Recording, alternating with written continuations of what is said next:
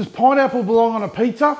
Who cares? But it definitely belongs in this dish. Sweet and sour pork belly this good should be legal. Mm, it may not be illegal, but it sure feels naughty when you eat it. I'm going to show you four easy steps to make the best sweet and sour pork belly ever. So just sit back, grab a drink or two and let's get into it. We know we need some pork for this recipe. Skinless pork belly is what I grabbed from the best in the business. And that would be Gippsland Premium Meat. And the only prep needed now is to dice it up. And we're just gonna slice the pork belly into roughly three centimeter wide strips and then cube it all up. So you roughly have three centimetre by three centimetre cube bits of pork belly. And then place this into a container. Step one is making the marinade.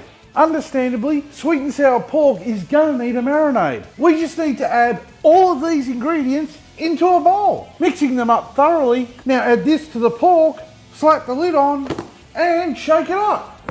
Pop this in the fridge for a couple of hours to allow the sauce to do its thing. If you don't have a couple of hours spare, just pop it in the fridge for two hours. We need a pineapple, halved, then sliced into three centimetre strips, then trim off the outer skin, and don't forget to remove that hard core.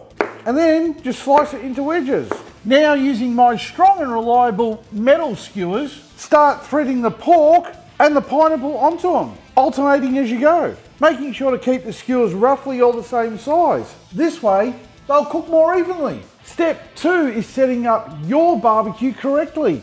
Today, I'm gonna be using this hibachi styled rectangular shaped charcoal burning apparatus and I'm going to be pairing it up with this 100mm riser just to keep the skewers a little higher off the direct heat. Because I want good airflow, I'll make sure the bottom vents are wide open.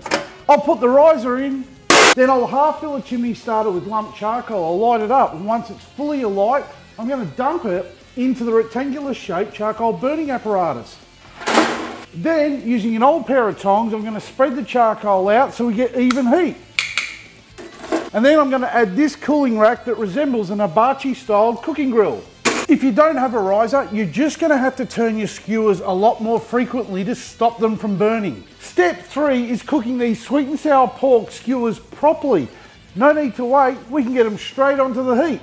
They will produce a little smoke firstly from the oil in the marinade and secondly as the juices drip down and hit those hot coals licking the meat with that smoky goodness. Just keep turning the skewers every 30 seconds. We do not want to burn these. We just want to create some nice, tasty charring. When pork belly is cooked for a short amount of time, it is still tender, but it has a little bit of chew.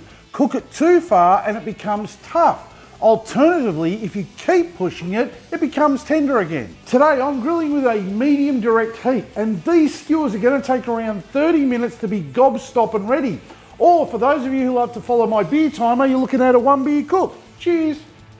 The skewers are ready so we can just get them off the heat and we're going to put them onto a serving platter. And serve as they are with a fresh squeeze of lime juice or Get on to step four and make these skewers stand out from the crowd by grabbing a crusty Vietnamese styled roll, adding some julienne carrots, thinly sliced green onion, the green parts left over from our marinade, slap a skewer into it,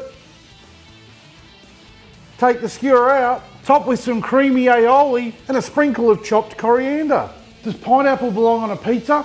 Who cares? But it definitely belongs in this dish, sweet and sour pork belly. Wrap your laughing gear around that.